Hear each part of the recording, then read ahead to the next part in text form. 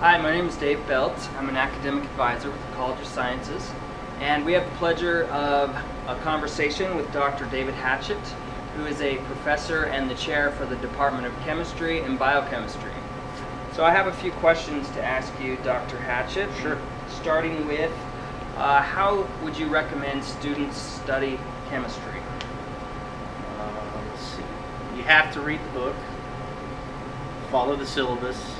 Uh, chemistry very much builds on what you learned previously. So if you're if you don't learn something as you go along, Mhm. it will be a problem from then on. So you have to go back and learn what you didn't learn. Um, but you have to study. You have to read the book. You have to do homework. In the sciences, especially, you can't get away with skipping anything like that because it's not like other disciplines. So with that being so important, what do you recommend to a student who's feeling behind? How do they either catch up or figure out a way to get back to where they need to be?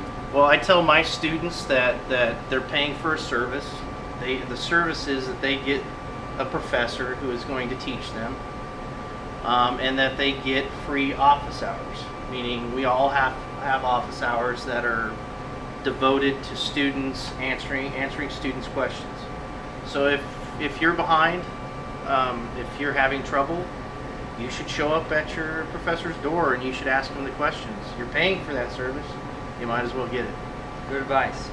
All right, uh, thinking about any clubs on campus for chemistry students, or even what, what activities do you suggest for students outside the classroom? Uh, in the department, we have a, a club. It's called Chemical Interactions. They meet uh, probably about once a month, but it's for anybody taking chemistry. It's not specifically chem majors. Uh, in fact, we've had bio majors who are the president of the club. So just get involved. You might as well. And what they do is they, they do a lot of demos. They go out to high schools. They go out to elementary schools. And they will they will do chemistry demos. Uh, during specific weeks. For example, the, the American Ch- Chemical Society will have a week devoted to a certain topic, and they may do things with local schools and stuff, you know, Okay. that relate to that topic. Excellent. So switching gears a little, um, which specific skills do students learn by majoring in chemistry and biochemistry?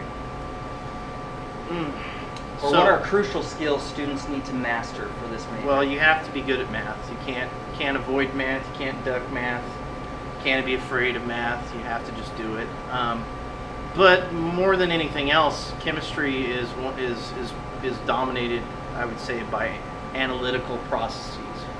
So no matter what discipline you're in in chemistry, you have to have problem-solving skills because it's all about analyzing something and based on that analysis making conclusions so you have to have those skills Excellent. And when students graduate, what types of career fields do they move on to? um, we have students in fact we, we just we just looked at our, our, our demographics with respect to this. We have students who are doctors. We have students that are working in, in analytical chemistry industry. We have students that are in graduate school at other institutions in chemistry In fact, I had surgery this summer, and the anesthesiologist was an ex-student of mine. So it was kind of shocking. and I asked her if she got a good grade, and she did. so, Nice. so, so those are things I think. We have students that decide they don't want to be doctors, and they go into science. Mhm. You know, and there's there's plenty of chemistry jobs. I think unemployment in chemistry is about three percent. So if, if you look at the national average for unemployment, that's that's well below the national average. Yeah. Wow.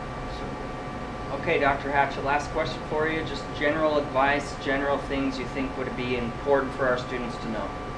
uh, that you have a very good university in your backyard. That a lot of times people will discount that UNLV is as good as it is because of the fact that Reno is the the older institution. Um, we still have professors teaching chemistry courses. Where I did my graduate work, you were lucky if you saw a professor. You had a bunch of student teachers. Um, you're not getting that here. You're still getting the best product that we have to offer. So that's an advantage. You'll come out of here with a very good chemistry degree. Good. Yep. Well, thanks, Dr. Hatchett, for your yep. time.